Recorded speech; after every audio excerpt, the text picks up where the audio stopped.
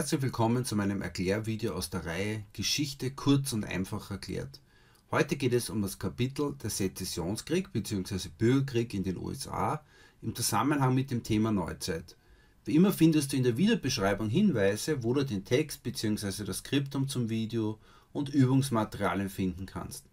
Da du das Video auch anhalten, neu starten oder zurückspulen kannst, wirst du ganz nach deinem eigenen Tempo die Inhalte sicher gut verstehen können. Der Sezessionskrieg, Bürgerkrieg in den USA. In der zweiten Hälfte des 19. Jahrhunderts, 1861 bis 1865, kam es in den USA zu einem Bürgerkrieg. An den Kämpfen waren einerseits die südlichen Bundesstaaten, die sogenannten Südstaaten, beteiligt, die für ihre großen landwirtschaftlichen Plantagen an der Sklaverei festhalten wollten und ihre Unabhängigkeit von den USA erreichen wollten.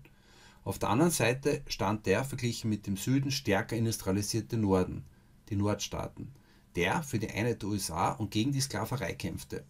Da sich die Südstaaten von den anderen Bundesstaaten der USA trennen wollten, wird der Bürgerkrieg auch als Sezessionskrieg bezeichnet.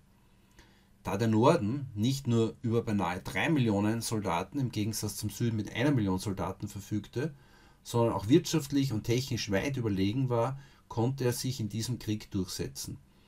Im amerikanischen Bürgerkrieg starben mit über 600.000 Soldaten mehr US-Bürger als im Ersten oder Zweiten Weltkrieg. Vielen Dank für deine Aufmerksamkeit. Im nächsten Video geht es dann um das Thema das Entstehen des italienischen Nationalstaates.